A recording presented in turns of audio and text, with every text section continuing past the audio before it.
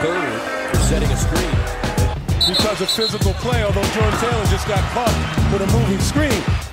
Izzo's dying for a moving screen. It's that dreaded moving screen. Welcome back, everybody, to another edition of the Moving Screen Podcast. I'm Brendan Quinn of The Athletic, here with Dylan Burkhart of umhoops.com. Dylan, good morning. Good morning. And basketball's back. It's snowing outside. Life is good. Yep, yep. The uh The Hawks are undefeated. Hawks are 2 0. How about that?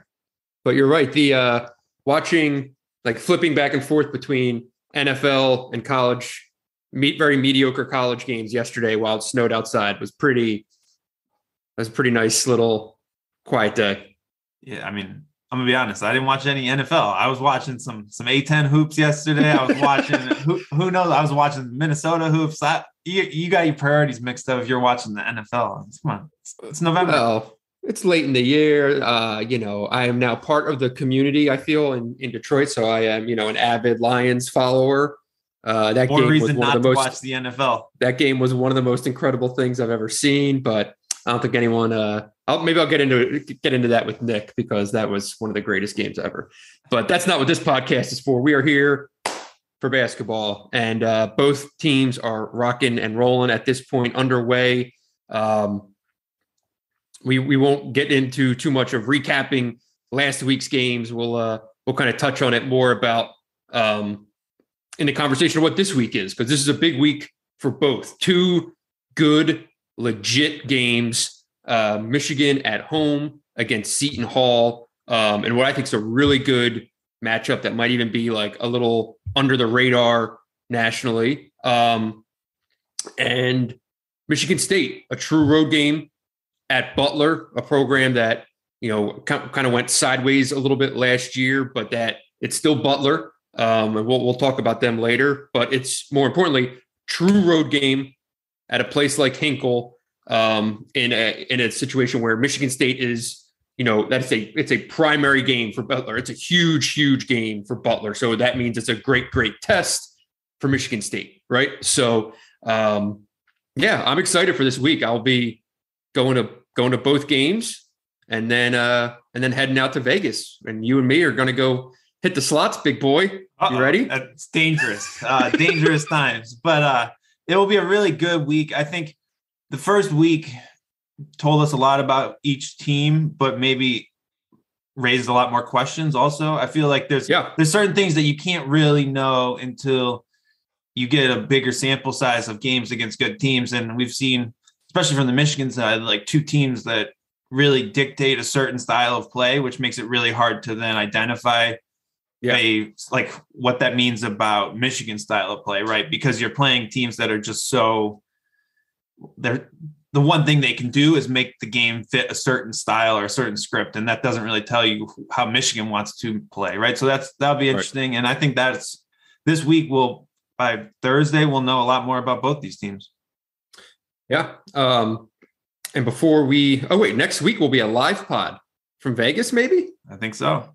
Oh, baby. I love it. Uh, but before we get into uh, this week's discussion, uh, just make sure uh, if you want to support this podcast to please subscribe to uh, both The Athletic and UM Hoops. The Athletic, pretty sure we employ more college basketball writers than uh, any outlet in the country. Uh, so even if you don't like my bullshit, you can, there's plenty of other good stuff to read. So uh, subscribe What a sales pitch that is. how about that? Pretty good, right? Uh, subscribe to the Athletic, um, and then Dylan, uh, why don't you tell folks about kind of what your coverage is is going to look like this year? Um, it's you are not a one man operation. I feel like when people subscribe, they probably get a lot more than than they realize uh, until they actually get on the site. You know what I mean? Yeah, we we don't cover everything else, but we will probably cover Michigan basketball as in depth as anywhere. You'll have me writing a lot of more analytical pieces. You'll have Jared and Tien, who are beat writers. They're going to be covering the team on a day by day basis, and they've already written a lot of good stuff this year. Mhm. Um, we also have a weekly women's basketball column that will keep you up to date on the women's team that Kent does a really good job with. Um, hopefully, have some film room breakdowns coming on. We have a lot of different stuff going on. We have another podcast that's all about Michigan. You can subscribe to that. Uh, it's the Pin Down with Eric Shapiro. So basically, if you want a lot of Michigan basketball, we're going to have you covered all year and excited to really get underway starting here this week. That's right. Uh, all right, let's get into. We'll start on Michigan. Um, you know, I don't know how much you really could glean off of uh, off of last week, um, or especially the weekend game. Um, but Seton Hall at home. When that? What is that? That's is that the Tuesday game? Was that Tuesday the Wednesday night, game? yep. That's Tuesday night. Um, I think it's a really good matchup. But let's let's kind of talk early impressions though so far before we before we get into that. What are your kind of early takeaways? We'll go from there. Yeah, I think the Buffalo game was a really like a Yeah, real test for Michigan. That's like they're a good team. I think they really gave Michigan their best shot. Um, they test they showed probably some weak spots, right? I think the one of the biggest things that we've talked about at times, but this Michigan team doesn't have maybe a true wing lockdown defender. Mm-hmm. Buffalo really exploited that and just being able to ex- attack one on one, get downhill. That's going to be a weakness for this team because Caleb Houston's not going to be a great defensive piece. And then in the backcourt, Michigan has basically two six foot guards.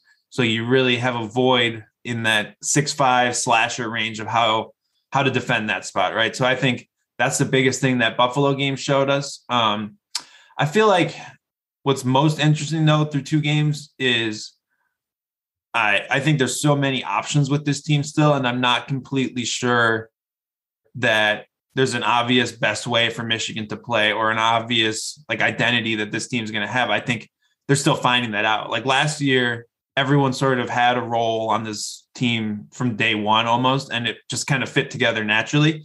Mhm. This year, I think if Michigan's coaching staff thought everyone had a role on day one, they'd probably be doing it a disservice because I think there's too much unknown and too much that could change with that kind of outlook. Um, that you have to kind of experiment in the early season in a way that you didn't have to last year, right? Like I don't think anyone's quite sure what Musa Diabate's ideal role should be. I don't think anyone's quite sure what Terrence Williams' role should be. There's figuring all these things out. Um, and there's a lot of new pieces. And I think that will lead to maybe some inconsistency early in the year. But I think it's important to actually kind of have that experimentation and figure out what works, what doesn't work, what combinations work, because Right. there's there's just so many more things that you can do with this roster. and they they're equipped to kind of play through what are going to be like kind of natural awkward points of the season right where this stuff does get figured out because you have the staple pieces of Eli Brooks, Caleb Houston, Hunter Dickinson where like those three you know those right? Like Mhm. it's everything around them that are going to kind of have to be figured out just in, and how how the pieces all kind of come together. But you know you see the teams that struggle at this time of the year are the ones that maybe only have one stable piece or two stable pieces. You know when you have three that's that are pretty damn good you can you can get through some of this right? You can you can still win good games and, and so on and so forth like a, a team a lesser team in a different situation might lose that buffalo game right Yeah, you having Hunter Dickinson to throw in 27 and Yeah. 6 in right 32 minutes is a nice luxury. I mean, but but what's just interesting is you have this that's like an all-American performance from Hunter Dickinson and all the talking points, everything to discuss about that game was anything but Hunter Dickinson, right? Like we've seen that. It's nothing new. Um, it just is what you kind of expect from him. And I think that's what's unique about this team is everyone wants to figure out how the backcourt's going to work, how the rotation at the power forward is going to work, what Caleb Houston can do on the ball, off the ball. Like it's all these other things. And those things are all, I guess, have more upside because of what you have in Dickinson, what you have in Eli Brooks. So there's there's a lot of flexibility, but at the same time, I'm not completely sure. Like, depending on what 10 minute stretch of either of these games you watch, you would think Michigan should have a different starting power forward. Depending on Right. what stretch you watch, you would think Eli Brooks should be handling the ball more. You would think Devontae Jones should. Like, there's just so many. It's been kind of little bits here and there that look really good, but Michigan maybe hasn't figured out that consistently how everything's going to fit, and that's what's really unique, I think. you brought up Devontae. Um, I'm going to get into some early season impressions here. What do you, what are your, what are your thoughts? I mean, his first game, foul trouble really sort of just threw that out the window. Um, that's just something that's going the to first happen. 10, when he was there, you know, like they looked like a different team in that game. When he came out, Eli slid to the one. And he- I thought you kind of, it did show a little bit of, you know, on court, off court, whatever you want to call it, difference of what they look like when he's at the one versus versus not. Yeah, I thought the Buffalo game was interesting because Eli looked really good at point guard in, in the second half and actually handled Second half, the yeah. ball down the stretch. Um, I think that Devonte has been good. I would say I don't think you've really seen enough. I don't think he's had that feel of being the one player in complete control of the game in the way that Mike Smith and Xavier Simpson might have played point guard. But I also don't know if that's what this team needs. Um, his passing has been, I think, better in transition than in the half court, but he's made some good ball screen reads.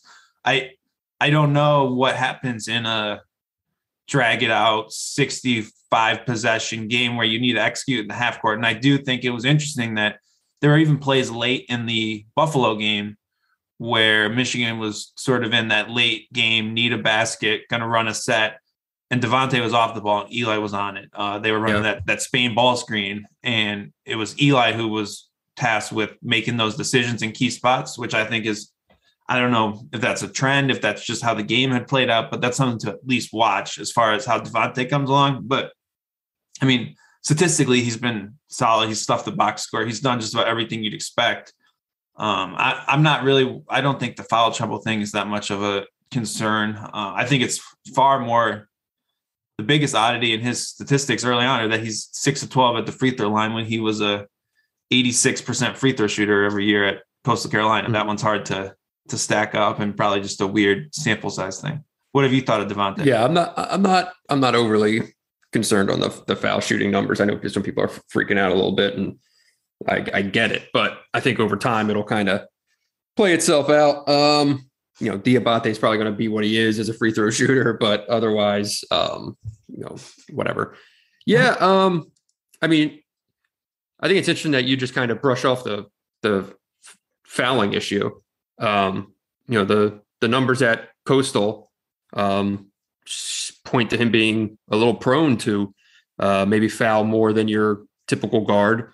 Um, he averaged what 3.1 fouls per 40. That's pretty spot on. he had average. He was not. called for he was called for three or more fouls in 11 of 22 games last season. In his career at Coastal, he was called for three or more fouls in 39 of 81 games, including 22 games of four or more.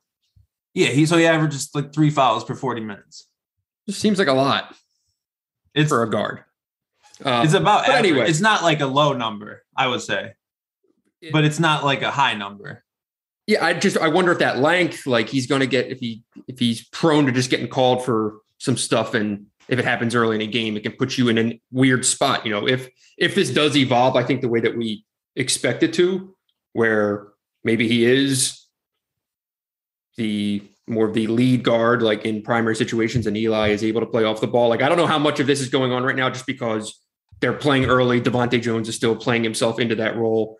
Eli Brooks is the more trusted piece you know, and you got to win games. So go with what you know can get you through that 10 minutes, right? Mhm. Um, but in January, when I think we would expect it to evolve differently, right? To Jones being the guy, Yeah, I think Eli well, being in the role from from last from last year. Um, you don't want him to pick up early fouls because that can kind of throw you out of your um, your rotation uh, roster wise. So yeah, um, I think I agree with you. I still kind of I want to see him make more decisions with I think the this ball. week I think it's I think it's key. really early. Yeah, I think it's really really early to kind of have any any sweeping opinions, and it's kind of the I, I feel the same way about Tyson Walker at at Michigan State, where it's like it's just I was going to like write something on Walker and kind of got into the pieces a little bit. I'm like, this just feels silly right now. Like we need like at least one or two more games and so on and so forth. You can't just go from playing Kansas to being the piss out of some, you know, a low major team and then be like, well, here's some conclusions I've drawn. Like that's just kind of it's a waste of ink, you know. Yeah. So I, I kind of feel that way about Devontae too. I right think. Devontae is probably one of the most interesting things to watch to see how he fares this week Yeah. against Seton Hall's length, against uh, like tough neutral games in, in Vegas. Because there's going to be a point where I think Michigan needs him to be that guy. And like how he fares in that spot, I think is really interesting. Like those are the tests you need to see. Uh, the one thing with fouls, he plays with his off arm a ton on offense, and he's gonna get rung up for calls, especially with certain Big Ten refs on that. And Uh-oh. like Xavier Simpson would get called on that a lot too. But Uh-huh. if you watch him, he's really good at drawing fouls, but a lot of times he initiates the contact. Um, and there and there's some refs that will call that that you probably don't get in a game at in the Sun Belt. So that's something to watch. He got called for at least one of those in the um, opener, and I think he got called. He got he drew a foul on one, but the uh, announcers pointed out how basically he did, it was all him, right? He had the whole push off with his arm. right. So because he's not the most like he's not going to blow by people, and I think he is some of that craft appears to be some off arm craft, and that's something that I think could be an issue from him. And really, for me, the foul trouble is not. I'm not worried about it for Devontae, but what it did point out is Michigan does not have a third guard on the roster. Um, Correct. the third guard seemed when the chips were down was Terrence Williams, and Terrence Yeah. Williams is 6'5, 230. Uh, that's not really a prime combo guard. But to be fair, he brings something to the to the mix. Uh, Kobe Bufkin, I think, having a good shift at Prairie View A&M was a step in the right direction. Um, but that Adrien Nunez is not the answer there, and that's that's the biggest kind of hole in this Michigan rotation, and that's what if you were taking something to worry about from these first two games, I would say that's it. Because No doubt. if, if you're in a close game on Tuesday, like Eli Brooks and Devontae Jones are going 40 minutes, I would say almost not 40 minutes. They won't go the whole. They'll play the whole second half though if it's close. Close. I think there will Yeah, be I a mean- shift in that first half though. I, I agree totally that it's it's a pretty abundantly clear that like because I don't know where the other answers are unless it's just going to be you know freshmen growing up over the course of the year. But like right now, in terms of what they need, like they need a healthy Zeb Jackson. They need him to be relatively reliable out there because I don't know where else an answer is. I mean, you know, like the answer has to be Bufkin. He's he's I so agree young in time. that in time, he's in time I he will be that guy. So I think but right, right him figure it now, like we're talking about like this week or you know in Vegas and stuff like that. Like I don't. You're, this you're is the asking. answer You're to asking a lot. Eli You're- Brooks. yes. So 40 minutes. Okay, fair. That's fine. I Um, I don't see how it plays out really any other way. I mean, I'm just saying. At least Zeb Jackson's a guy who's been on the court in games. He's played in the NCAA tournament. Like he has. He's Yeah, done. but when was Zeb Jackson last on the court? Right, like that's sort of the thing here. Yeah. Like, it's not like don't. he's I gonna, don't know. if he's I been don't know what his dealing how close he is to being back. Right. since media day. It's not like you're gonna just throw him in the in a game. I wouldn't think so. I don't know what the situation is there. Um, I guess one more Michigan point before we talk a little bit about Seton Hall. What do you make of the power forward situation? Uh, Musa Diabate's played about 15 minutes per game. Uh, sort of leaves everyone's eyeballs popping out when he's out there. Brandon John's still starting. Terrence Williams, probably Michigan's best player for stretches against Buffalo. How? What do you? How? I don't know how it should work out. I think it's pretty up in the air. What do you think about that situation? How should the playing we let's be? combine these two for a second here because I do wonder if like can Caleb Houston give you anything at the two? Or is that a It- non-starter for you? for me it's it's semantics because if to get to that Terrence Williams is your three. So is Terrence Williams your two? Is your three? Is I think you leave Caleb where he is, and Terrence Williams is the guy who can just play every spot because he knows what's Okay. going on. So Okay. yes, they played that lineup though. It was Yeah. Terrence, Caleb, either Brandon or Musa and Hunter. Like you can play that way. Uh, but so in, in terms of if you have a five minute spot where you need to get through, I would rather that than cer- certain other options, you know? So, um, but with the four, uh, I mean, I want as much Musa Diabate as possible just because I want to watch Musa Diabate play basketball. And in terms of the ceiling of this team, it's him getting as many minutes as possible. Um, you know, I get starting Brandon Johns right now. And I think it makes a lot of sense. And I don't think he's going to kill you. And I also don't think, you know, the the um the fairy tale story of him becoming, you know, some rock star, you know, senior, whatever people were hoping for out of last year's NCAA tournament. Like, I don't know if that's going to happen either.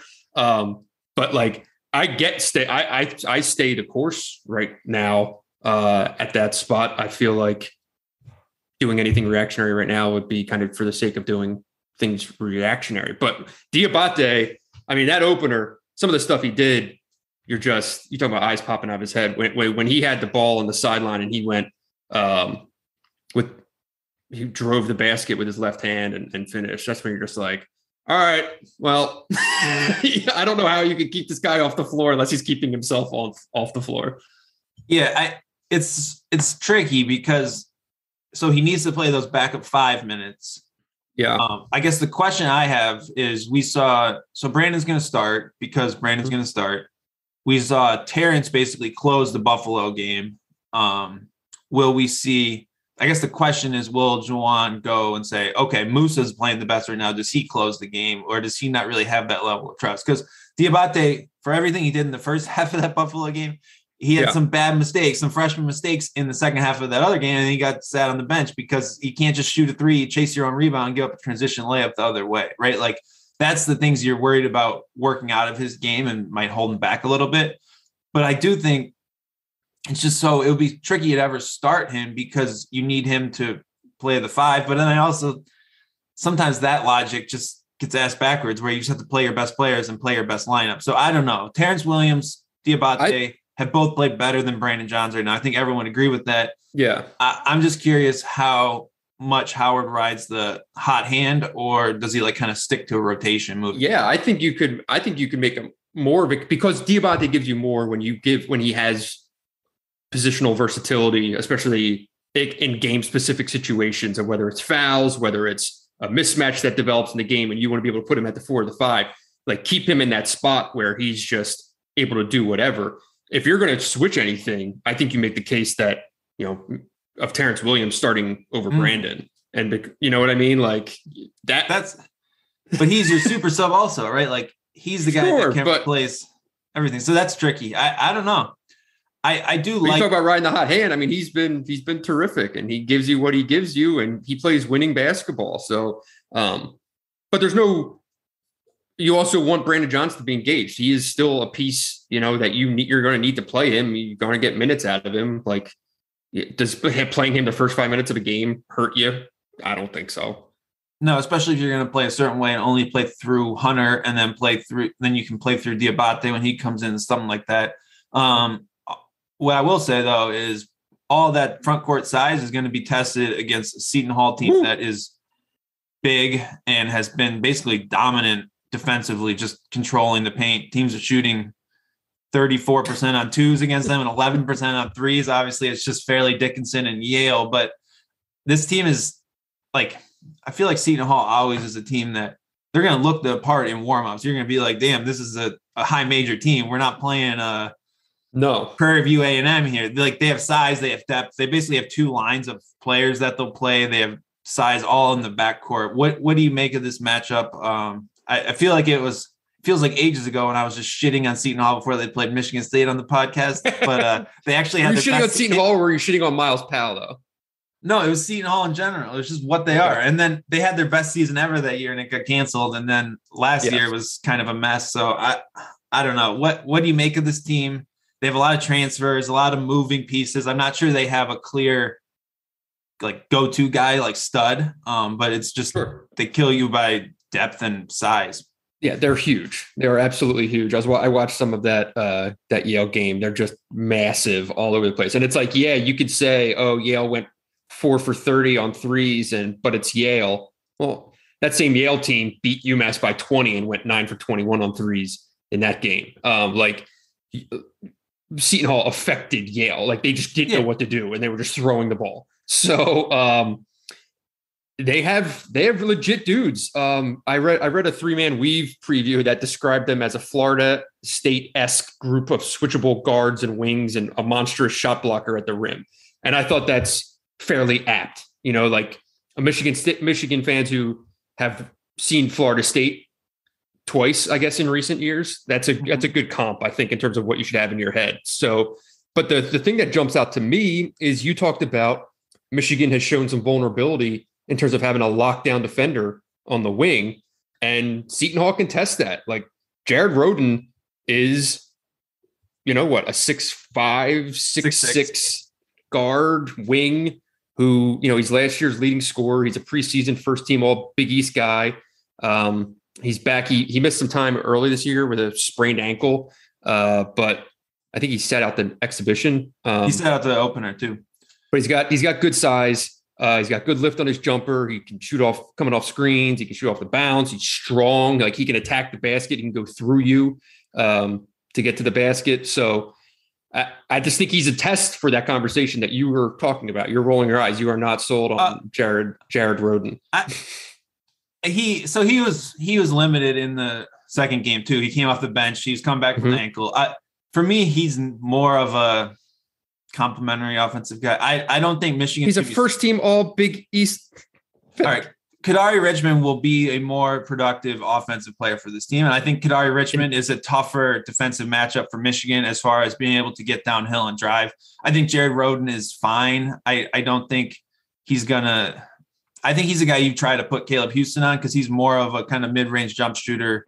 I think he's a little more passive than maybe you're making him out to be. I think people are want him to be the guy you're explaining. I don't think he is that guy yet. If that I mean, makes he sense. maybe he's an example of a guy that you watch synergy and it leads you a certain way because you just watch his made baskets and you just see all the all the things he does because they're all made shots. um, but I don't know. When I was watching his film from last year this morning, like I, I was like, I, this could be a situation. I was watching his stuff from last year's Big East tournament, and I'm like, well, you know, this is a guy who could give them give them trouble. You're, I mean, I like Kadary Richmond a lot. Don't get me wrong, and I think he's a guy that you know people are still trying to figure out because he was so misused at Syracuse. Um, but he's a ball hawking defensive guy. He was 13th nationally in steal rate last year. He was playing in Boeheim's 2 3 zone, but that's who he is. He's long. Um, he can kind of mess you up. He scored, he, he had 13 points, uh, five boards, three assists, two steals, like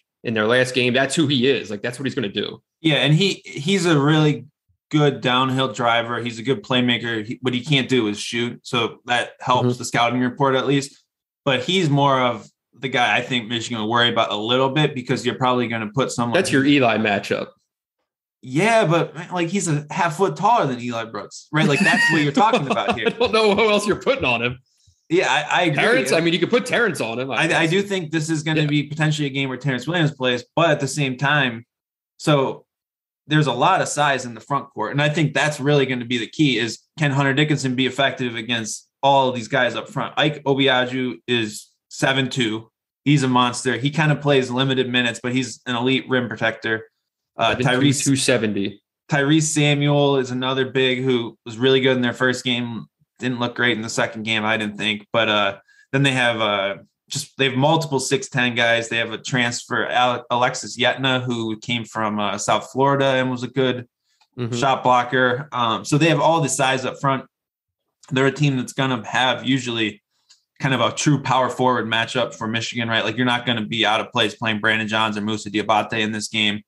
Um, and then on the perimeter, they have a couple guys like Jamir Harris started his career at Minnesota, and he's just basically just on the floor to shoot. So they're usually like they, they always have that one guy who's just out there to chuck up threes. Um, Right. so he's a guy you have to kind of keep in your scouting report. Um, but it it's a lot of size, a lot of interchangeable pieces. Um, I I'm skeptical of the offense. Uh, I think Michigan's defense should be an oh, do an okay job against this team. Just with I don't really love what they run or what they do. Um, but if Mich- if Michigan can't score inside, it's going to be a hard Mhm. nut to crack offensively, and they have legit size to deal with Hunter Dickinson, legit size to deal with Musa Diabate. Like they're not going to be like, oh, look at this Musa Diabate guy. They're going to be like, we're big, long, and athletic too. So Yes. you're not going to overwhelm them that way, and that's that's interesting because for a lot of last year, that was how Michigan won, just dominate the paint. And I don't know if you can do that against Seton Hall. Well, and if you can, you probably feel pretty damn good about yourself afterward. Yeah, there's not going to be many easy uh, buckets in the game. I, I feel like this is a uh, you need to ride your horse situation of needs another All American performance out of Hunter Dickinson. If you on, on paper, in terms of like where's the mismatch, yeah, they have size down there, but no one's as good as Hunter Dickinson. And when you look at what they can do to Michigan defensively along the perimeter with all that length, like it's I don't think a lot it's going to come easy. So, um, you know, he Dickinson going one on one and scoring is going to be crucial because I don't think they're going to really throw double teams at him where he's going to, you know, start kicking the ball out and finding open guys for threes. Like I, Seton Hall doesn't have to play them that way. They'll they'll play him straight up. I would imagine. So if they're going to play him straight up, he needs to score in those matchups. Fair. Yeah, and that that's that'll be the thing, right? Like, yeah, there were games last year where teams thought they could play Hunter Dickinson straight up and he dominated. There were games mm-hmm. last year where teams did play straight up and shut him down, like the Kofi Cockburn, Cody Riley.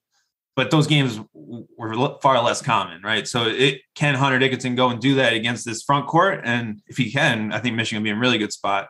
Uh, I tend to think it ends up more of a sort of just a more of a slog. Like I, I feel like both mm-hmm. these teams will kind of struggle to score on each other. I don't mm-hmm. love. Mm-hmm. Um, I think they both project to be better defensively than offensively overall. I'd say. I don't know. What do you make of how the, the matchup goes?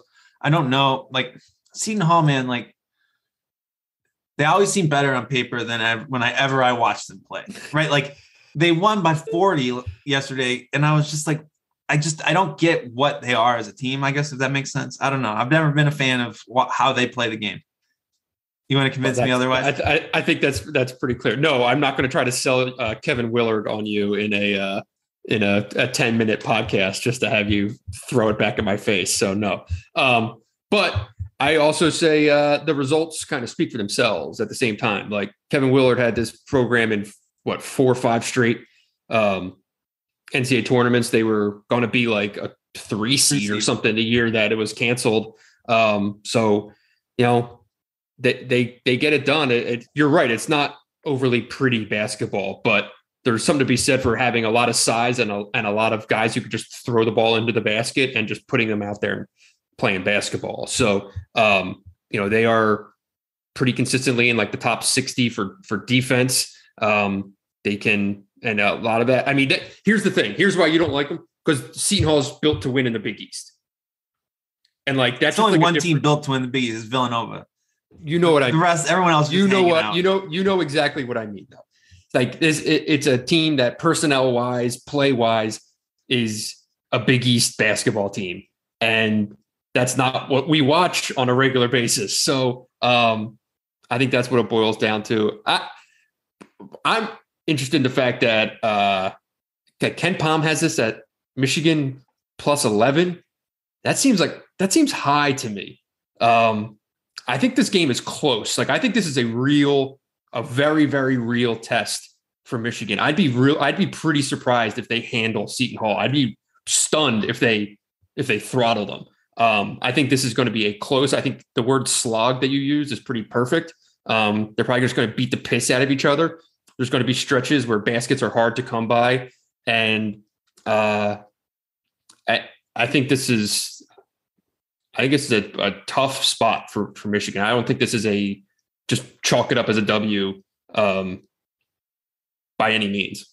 No, I don't think it's. I think it's something you learn. I think you'll learn something about Michigan one through eight in this game. Like every individual yep. player will have to prove something about their game in this in the context of this season that maybe we haven't seen, and it'll be a good test. Uh, it is at home. I think that's key. Uh, first, like home game with fans and an actual meaningful situation. Um, so be interesting. I 11 does sound high, I would say, just because. But I also I don't know. I don't know what to make of Seton Hall. I think it's going to be how does Michigan score inside, and if they can score inside, I think then it could easily get turn into more of a snowball effect. But be really, I think it'll be a good game. I do too. Are you excited to see Bryce Aiken? Uh, he's actually playing more this year. He looked pretty he good. Is. Uh, he's made five of seven threes. A little more, a little healthier. Um, he's his what, sixth his, year. His sixth year in college. He was a freshman at Harvard the same year Xavier Simpson was a freshman at Michigan. Yeah, Seton Hall is so just 12th in depth, so 12th in bench minutes, 22nd yeah. in average height, 63rd in experience. So they're one of the oldest deepest, tallest teams in the country. Uh, I do think we should flip over to Michigan State as well. Uh, Michigan State uh, lost to Kansas in the Champions Classic, then turned around and just destroyed Western Michigan at a game I think you were at. Is that right? Uh, uh I was, yeah. Uh, that was not much of a game. Um, I feel like we're back last year where we're trying to pick apart what to make of Michigan State routing these teams at the Breslin Center by about 50 points in non-conference. Um, I think it's good get back on track game, but I don't really know. Like Western is not a good team. I don't know what we're taking. Western's not a good team, and they lost their best player four minutes into the game too. Not not not ideal. Um, No. but everyone kind of got on track. Um, I I guess we should start with the point guard situation. Yeah, Whoa. I don't know what exactly to make of it uh, coming down right at about a 50 50 split. AJ Hoggard did a bunch of scoring in the opener, um, made some good passes out of ball screens. I think he played really well. Uh, I think Tyson Walker had some moments. Both of them had some moments against West. Everyone got a moment against Western. What do you make of the point guard situation? Like, I, I don't feel any clearer on it than I was before the season started personally. like I, think it is a a major plus right now. What what um AJ Hoggard is doing, and, and that he is proving to be a viable piece. I still think big picture overall, Tyson Walker needs to be the guy. I just think he gives them a much higher ceiling. I think that uh, in terms of his ability to kind of pilot an offense overall, he's just better.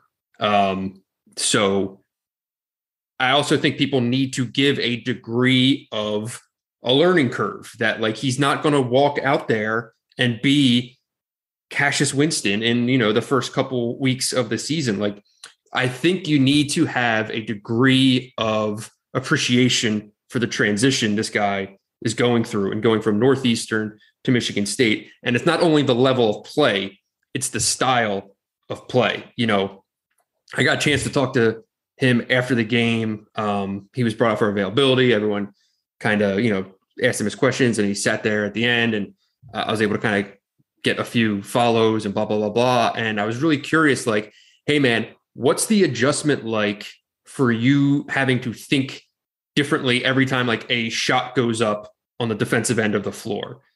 And like, these are the things that he's working through of, you know, a ball comes off, Michigan State gets defensive rebound, the ball gets to him. Now they're they're going 100 miles an hour, right? Like we all watch Michigan State play.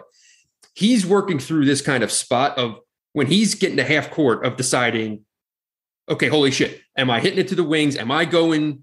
Am I attacking the basket? I don't want to get too deep because if I get too deep, that fucks up the half court possession and blah, blah. Like these are things. It takes a lot. It takes time to get used to playing this way, right? The Mhm. first two games of this year was 77 possessions against Kansas, 72 possessions versus Michigan State. Uh, average length of possession 14 seconds and change. His freshman year at Northeastern, they had six games uh, of their 33 games uh, schedule that surpassed 68 possessions. Like they, he just doesn't. He didn't play this way, right?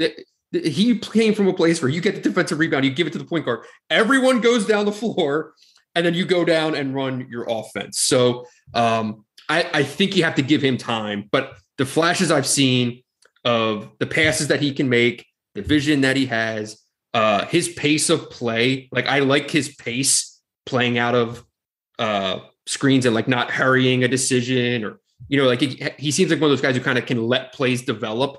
Whereas as AJ still, I think is a two eyes on the rim and he just wants to get downhill and go go go and that's just kind of the way he's wired, which is fine for when you need him. But in terms of who's going to be the point guard, who's going to run this team, I think it's Tyson Walker. That was probably a very verbose answer to your question, but that's that's where that's where I'm at.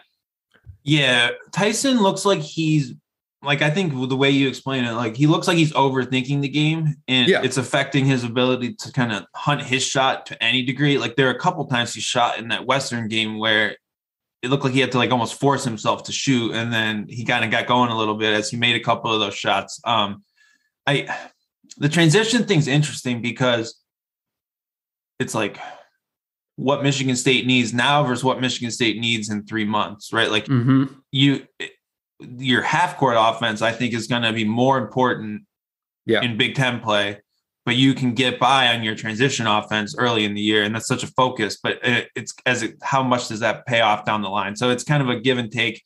I, I think my biggest worry about Michigan State through these early games is I'm not completely sure what that half court offense is. Max Christie hasn't really been the high usage guy we expected. Obviously, it's just two games and whatever else, but I feel like they're still trying to figure some of that out. Um, they, they, were able to just get every rebound um, against right. Western, which kind of th- throws those numbers aside. So I think there's flashes of both. Hoggard looked incredible, like just getting downhill to the basket in transition. Kansas, I haven't seen a team just not pick up in transition in that long, but I mean, it, it happens. I mean, sometimes that's like when Tyson Walker was out there, he wasn't aggressive enough to get right. downhill and force them to pick up in transition, right? So that's important, and that speaks to Hoggard having a year in the system and understanding what those decisions are from rebound to possession, right? Uh, yeah, like I, think, I don't think I don't think Tyson can't do any of those things. Like I think he can do all those things. He just needs to get there and and have clarity of mind. It's also like he's not a senior grad transfer either. I think is mm-hmm. important to remember. Um, a lot of these guards you see come in like it's they have two more years of experience playing college hoops, right? Like that that's a lot, and that's like closer to being able to just kind of pick things up on the fly. So I think his age is important to remember.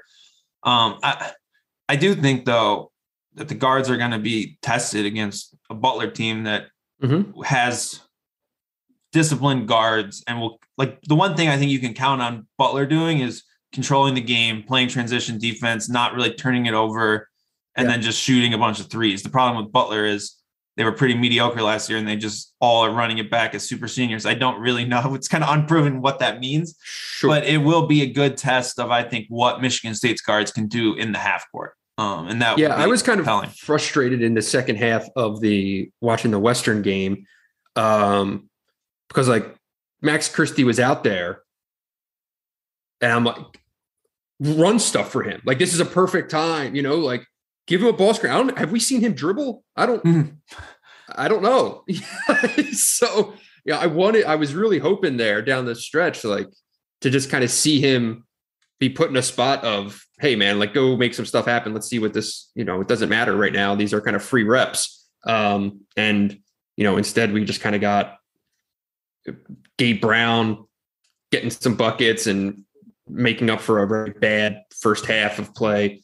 Um, so on and so forth. So, yeah, it's pretty clear yeah. Christie. They want to get him spotting up, and they want to Spot. get him curling off off of those screens, sort of in that. That's just like the most classic Michigan State action. I feel like where you mm-hmm. get off a screen, make a play. Like that's that's where he's been used the most. He just hasn't made. Shot. I don't. I don't worry that he's not making those shots at all. But mm-hmm. I think I expected him maybe to be a little more of an on-ball guy, but it's really to use him off ball in that role seems to be the, the early key um, yeah, for him.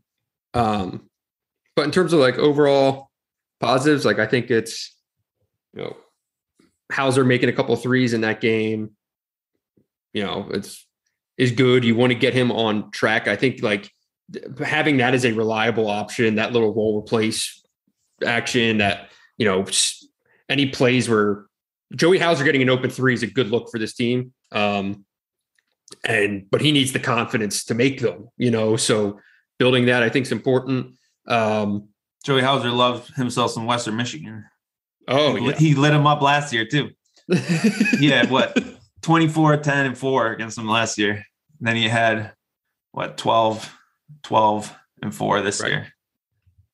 I, yeah, like especially in these early season times, like I, I think we you you want to give Max Christie time to get his feet under him. You want to give um, Tyson Walker time to get his feet under them and let those guys kind of progress.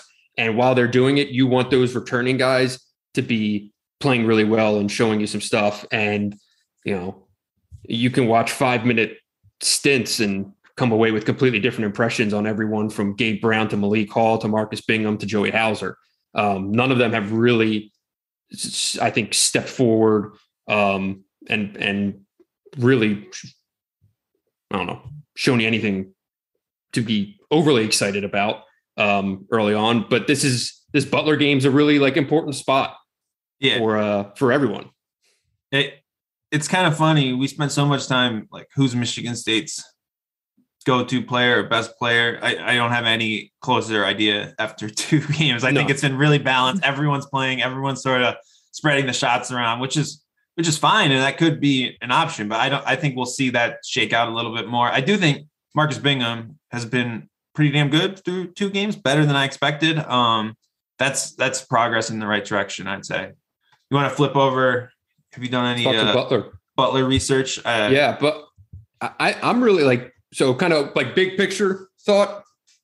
Really interesting year for LaVall Jordan, uh, for Butler, the program as a whole, right? Like he he had them ready to be uh you know, you go back to 2020, that team was ranked as high as like fifth in the country at one point that year. Uh, they were going to be uh, you know, like a five seed in the NCAA tournament, I think is what KenPom had them at um, things were going in the right way after kind of a slow start for for Val in that job, mhm. and and then last year was just a mess.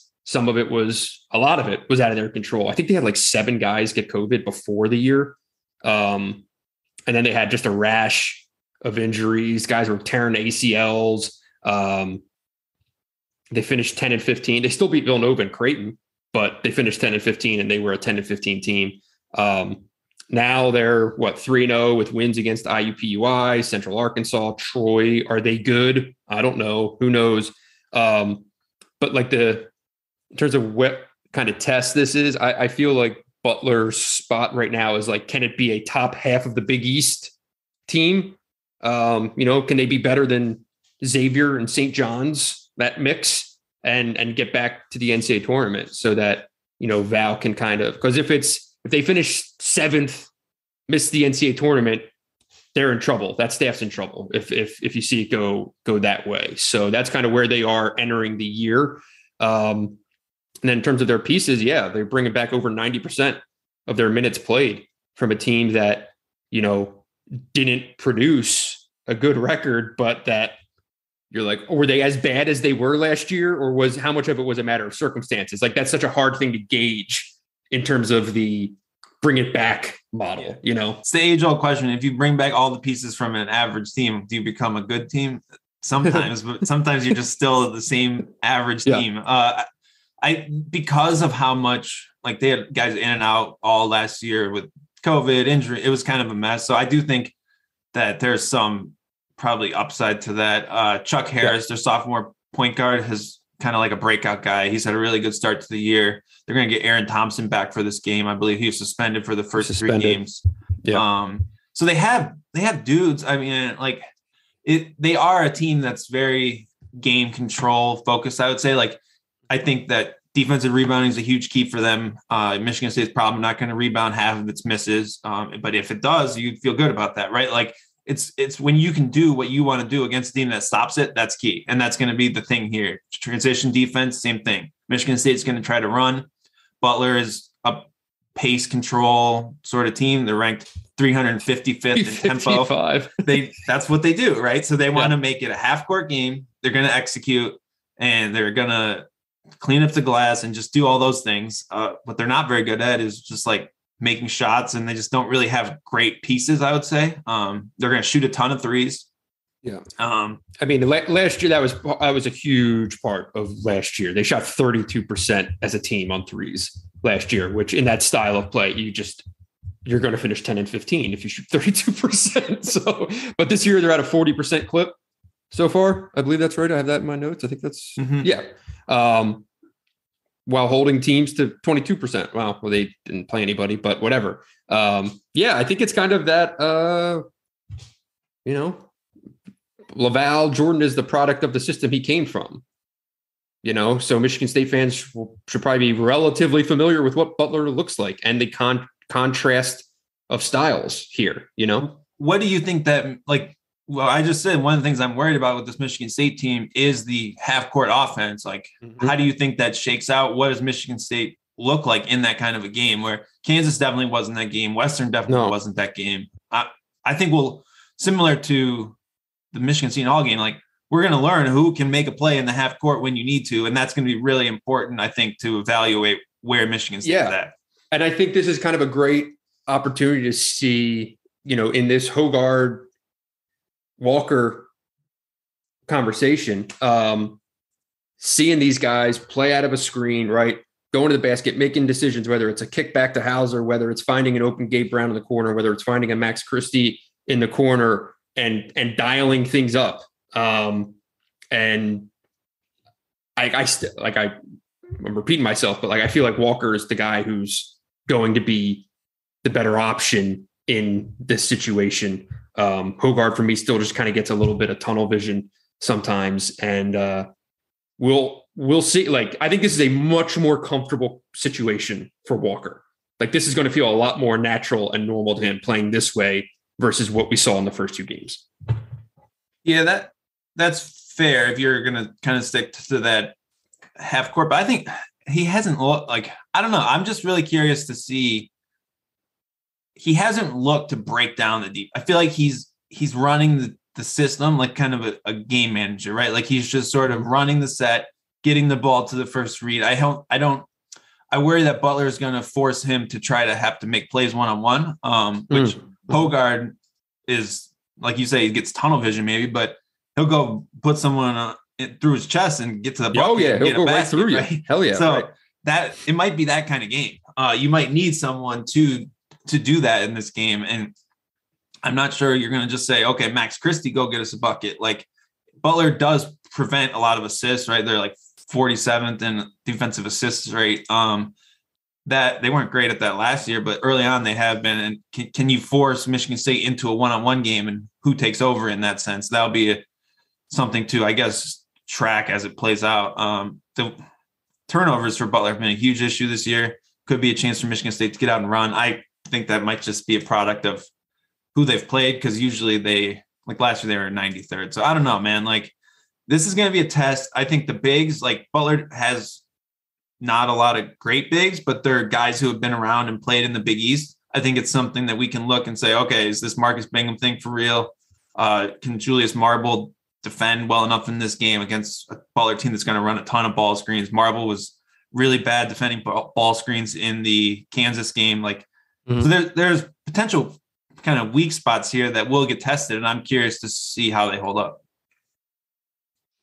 Yeah.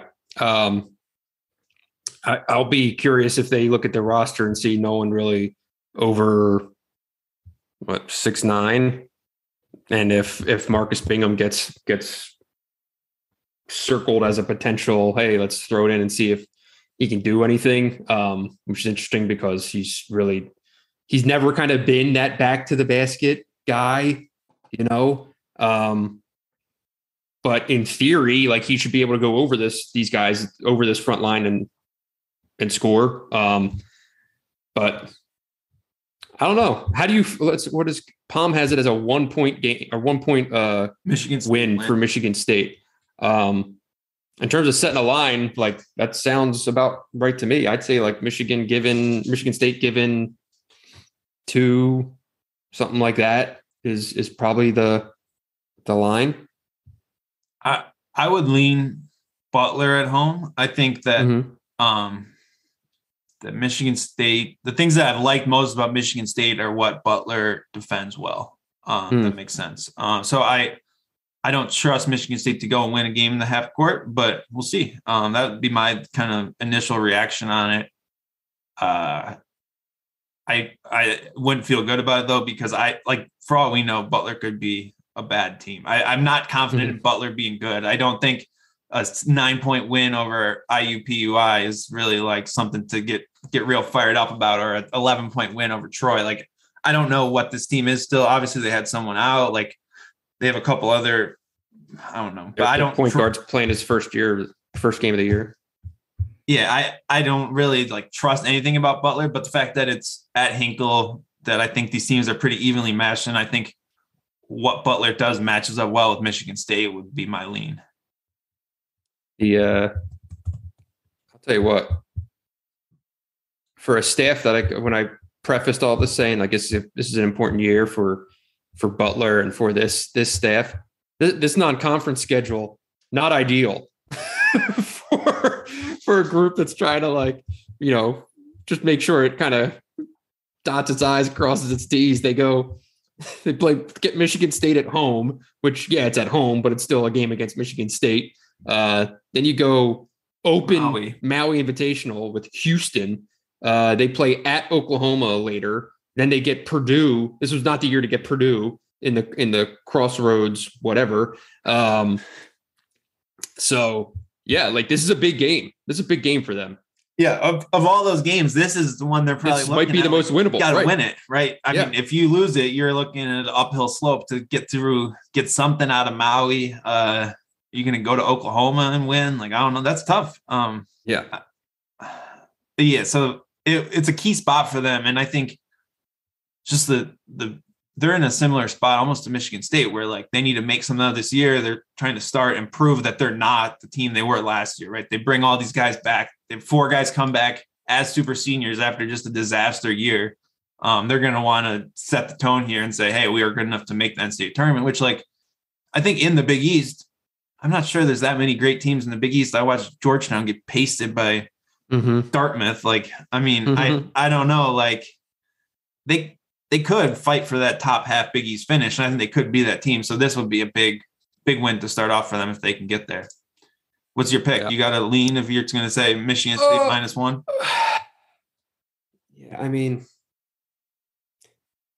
like overall, Michigan State's probably more talented, you know. But you're you're right. This is the matchup is maybe not ideal. Um, I'll take. I'll probably take Butler. Win outright. But you're not going to feel good about it. That's that's where I'm I don't at. feel good about it. No, that's it's that kind of game. I think yeah. it's so uncertain. I think it'll tell us a lot one way or the other. Yeah, like I would say Michigan wins close at home against Seton Hall, and I, and probably Michigan State loses close on the road would be my guess. Yeah, it feels like a game. I don't know if either team is good enough to get a big lead. I feel like it ends Yeah. up a game where it's just like, what are we doing here? We're going back and forth. No one really feels good about it. It's just a execution Right. game, and then see what happens at the end. And it could also, yeah, and it could be one of those where you know if Michigan State can put together a 10-0 run in the second half, or suddenly they hit they hit them in transition a couple times, or maybe they get a I couple don't know if like Gabe Brown back from that. That's the thing, right? If you if you if you jump to ten, it's going to feel like 20 Mhm. Um, so that's a good point. Yeah. All right, let's get some Big Ten quick hitters in here because there's there's a lot to chew on opening week. baby. Uh, Nebraska, Of Not course, you start with Nebraska. Amazing. lose at home in the opener. You gotta be killing me, Fred. I mean, I made Let's- excuses. Let's get some Big Ten quick hitters. Nebraska. I made excuses when they lost those games to UC Riverside and Southern Utah in his first year to open it. But come on, you can't lose to Western Illinois. Um, I saw Nebraska fans were all mad that their kids were posting uh, highlights of themselves from this game on their Twitter. Um, Oh, not a great look. Tough times. I my Nebraska take. Sorry, Nebraska had six assists in that game. Six against Western Illinois. Dylan, I, I don't know. you what love to say. you love Hoiberg. How the fuck do you have six assists in a basketball game? how was he like Iowa State was so good passing the ball. And he recruited kids who people thought would be like it's a similar thing. I just don't get how it's not working man. It's it's bad. It's dark times. Uh they did bounce back with a 9 point win over Sam Houston State though. Uh another team that hasn't really looked all that great who we Well, both now they, and, and now Nebraska gets Creighton this week, by the way, in a in a in a tremendous Gavitt Games matchup not good right up the road. Love to see that game. Not good. Uh, Ohio State. Mhm. I feel like everything we thought was wrong with this team actually might be wrong with this team. I'm a little worried about them early in the year. Uh, the guard play is not good. Uh, EJ Liddell is phenomenal, and then there's that's it. Like that's the situation. Like EJ Liddell has just been stuffing the stat sheet, and everyone else has been doing nothing. Uh, he has a 42 and a 47% usage rate in the first two games. Uh, just incredible. He's got six blocks, two steals. Just he's been incredible. He's going to be like player of the year, but I don't really like anything else that this team has. Like, oof, I don't know. I'm a little worried. What's what's the best early season performance from the league so far? Do we have an answer on this? Has anyone played anyone? Is, is it Michigan versus Buffalo? It, I don't think it, it's not been real. you're I don't asking know for if any Big Ten takes. I'm looking through these what these teams have done. Uh, I watched some tough Maryland action. Uh the my The turn, your game? turn with Fatts Russell and Eric Ayala not doing it for me. That- like, oh, that that's about everything I anticipated, and I'm a little worried about it. I feel like Maryland has lost some of its its magic powers by playing like a traditional big. Um, Donta Scott's not really the same guy as a true four. Uh, I I don't like that team that much. Can you give me something to be positive about with that? I'll tell you what the uh, my favorite, as it often is, early storyline is watching the emotional swings of the Indiana fan base, um, and from Eastern Michigan giving uh, shout out Stan Heath, first year coach down the road in Ypsi. Uh, EMU went down there and gave them a pretty legit scare for your for your first game of a new era that has been built up uh understandably so that has been built up to like a fever pitch. Uh emu goes and has everyone shitting their pants uh and then a couple days later they come back and wax northern illinois and everyone's like oh baby. Mike woodson has this thing on the tracks ready to go go it's a new era and then i look up northern illinois they went 3 and 16 last year man there's a reason mark montgomery got fired they don't have anybody on that team I, it's really been the first week of the season. Really was the Big Ten MAC challenge. it was Everyone's playing those games. Uh, give me St. John's plus five at Assembly Hall on Wednesday. Uh, I'll take that to the bank. I I I don't like what I'm seeing with Indiana necessarily. Um, you're not going to make some friends with that kind of talk.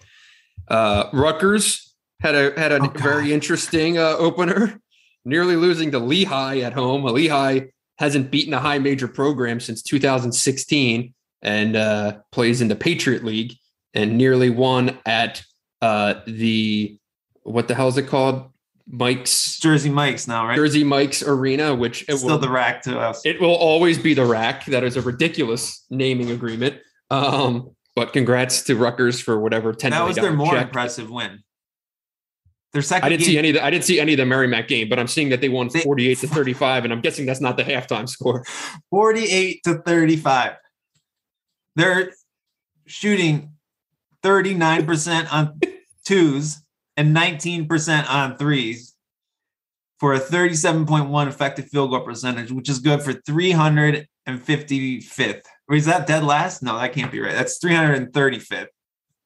That's disaster. Well, Uh, how how can The- they be that bad offensively? That's I don't understand. The where's that early season Ron Harper from a year ago who's out there shooting 60% on threes, having everyone talk about him as an all-American candidate. They need that guy. Uh, they need they need they need November uh November Ron back in the mix. But Cliff uh, at least uh, Cliff Omayuri has shown some stuff. Omar, did I did I ruin it again? he says it Omar differently Rui. than the his non-brother who also played for Rutgers, which I I just give up. I can't I can't do it. They I think you said Cliff's name properly, but I'm not sure. Uh, point being he's actually he's he's shown something early which i think people at least in the lehigh game he did i Theo didn't see any of the Baker shooting worse than 25% from the field. it's not good Good start. I I don't Not know, good. man. Like I I don't feel I haven't upgraded my takes on many of these Big Ten teams through the first week of the season, but I think that it's hard to you're sort of it's an unfair target when you're just playing these buy games, right? Like you can't you're not going to upgrade the take when you win by 40 and you're just Right. going to talk shit if the, it's a closer game than expected. So i saw some Illinois- that uh kind of looking legit though. i saw some of the penn state youngstown state game and i thought penn state looked Of course they functional they looked functional for a first game under new coach it looked better than indiana versus emu tell you that much That game Uh, was a struggle too. They have a good test today or at UMass. Um, umass stinks Well, I think it'll be a good test for Penn State. Let's put it that way. Um, anything Uh, else to get into before we get out of here? What can can we go through the other Gavitt game matchups? Yeah, let's let's knock those out real quick. We got Let me, let me pull Illinois at up. Marquette tonight. Um, no Kofi Cockburn. Coleman Hawkins has turned into a monster. He's- He's been incredible. Blocking shot. He's I'll tell you what. by the way, Brad Underwood just came out and said that all preseason too. Anyone who interviewed him, he he he talked about him uh, every single time as like this guy's going to be a monster, and everyone's Well- like, okay. like, I don't think Brad Underwood's one to bullshit you. So uh, He's been legit. that was pretty spot on analysis. uh, Uh, so- and this will be so. This is a big game for Shaka. Uh, in his first year at Marquette, you get a top five team on your home court. Um, I don't think it's going to go well for Shaka, but it's an interesting game. To, I, I'm I'm looking forward to watching that game. Yeah, Marquette's It- interesting. Go read my state of the program on on uh, on Marquette. shit's getting stale, man. You got to You're gonna be out of time to tout that one. Uh, season started. we got new data here. Ow. Uh, wow, Providence, really? Providence, Slapping back on Wisconsin that one. tonight. Providence, Wisconsin. there's What's the ever? This is going to be fucking watch, 42 to that's it. 40. Yeah, This That is the game. Awful. Uh, Take sure. the under. I don't know what the number is, but take the under. Creighton, Nebraska, we talked about. Um, St. Yeah. John's, Indiana, we talked about. Rutgers, DePaul. Uh, hey, man, DePaul gets some buckets. So I, I'm not sleeping on DePaul there uh, because Rutgers has been that miserable. And Xavier Ohio State Xavier. Ooh, That's spicy. that's Very spicy. In I love. in Cincy, too. So that's, man, like, No, they they dialed up some. uh They dialed up some good ones. I like the uh the interstate matchups on these, giving us uh, Creighton, Nebraska, and uh, Ohio State Xavier. Very very nice. So, uh all right, who is your pick conference wise for the Gavitt games? There are what here? Uh, eight games. Yes, eight games. Give me your Gavitt games prediction. I'm going Big East. You're I'll go- Big what- East. So you're I'll taking go you're 5 taking 3, Big East. So I'm going to let me guess. You're so you're taking Providence, you're taking Creighton, you're taking Butler, you're taking St. John's, and you are taking DePaul. That's your five. I, I don't have set five. I'm, I would set the number at five. Okay. I, I think that the Thursday games are both toss ups, probably. Um, like I don't know which Yeah. one. I think those will be a split. I think Indian. I, I, do not think toss Xavier, up. I do not think Xavier's losing on its home court to Ohio State. That place is going to be absolutely buzzing. Those people are crazy. Xavier. Um, Those we didn't are even we didn't even talk about Minnesota champions of the Asheville Classic last night. Did you watch that double overtime thriller? Payton Willis, Jamison Battle stuffing the statue. I'm going to throw out a shout out to Minnesota, who I thought might be one of the worst Division One teams around. They have like five dudes who can almost play. So don't well, sleep. I mean, there's something to be said for let's just take the some of the best players from some of the lower leagues, put them all together, and hope that you can make one really good mid major. And Yeah. if Minnesota is a really good mid major this year, that's good. All right, what's your Gavitt Like, Games good- like being a being a really good mid major is what like top seventy five KenPom. Mhm. If Minnesota is a top seventy five KenPom this year, That's extend Ben. Johnson. Extend Ben Johnson. Uh, um, what's your Gavitt also take? Then let's great get out of here. scheduling great scheduling from from minnesota. This is what you need when you're a first year coach. They go umkc western kentucky princeton iup or uh, purdue fort wayne jacksonville. Pitt, they get pitt in the acc big ten which is clutch. Pitt is dog shit and they can actually win that game.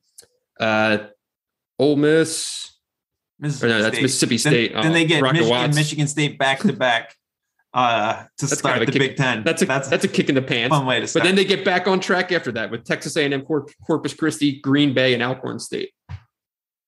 we'll see. They The league really more competent than I expected. That's all I'll say. We need your Gavitt Games take. Then we got to get to a press conference. What do you got? Big I need a pioneer. I want a pioneer press column on the Big Ten screwing Minnesota with giving them Michigan, Michigan State back to back in their December Big Ten games. That's outrageous. But I will say, uh,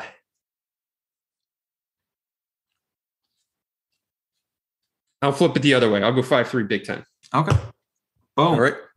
And next week, live from Vegas, baby. Yeah, we're gonna knock a pot, It's gonna be pot out great. of Vegas. This is going to be great. Just that's that's the spice this podcast has been needing right now. Absolutely. We're going to dial. We'll we're going to dial this thing up. I still don't have a sign off. We're. Uh, I'm in the lab working on this one. Uh, we'll get. Uh, we'll get back to you with it. So uh, stay tuned.